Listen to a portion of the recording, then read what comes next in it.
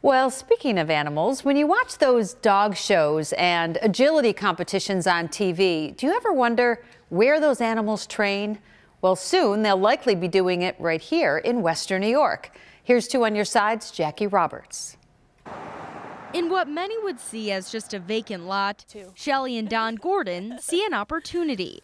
They plan to transform Uh, these no, five actual, acres of um, land in Lancaster into a facility called Premier Dog Sports and Event Center. Did you ever see yourself where you are today? Never, not ever. No, I'm the president of the Basset Hound Rescue, and that's just what I was going to do forever is help save homeless Basset Hounds in New York. And uh, I never thought a Basset would be good at agility, and uh, my my guy was. She's talking about her floppy-eared rescue basset named Diesel. Here comes Diesel with Shelly Gordon from Buffalo, New York.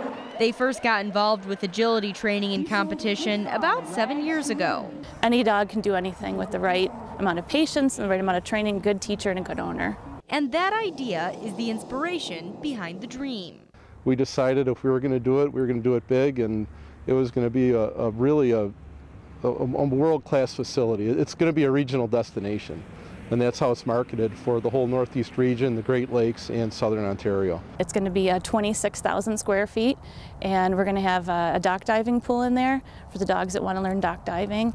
And we're going to have a mezzanine level up on top so people can watch. We're going to have a barn hunt area, um, agility area. The Gordons say right now they're finishing up the blueprints and are hoping to break ground sometime in January, with an ideal opening date of about six or seven months after that. And the economy in Western New York is doing great right now. We just want to be part of it. The goal is to have classes during the week and hopefully competitions on the weekends. On the lot, there's also plenty of space for potential expansion down the line. But a piece of their humble beginnings with Diesel will be there each step of the way. The land is being purchased in his name, so uh, he'll be remembered forever. Jackie Roberts, Channel 2 News.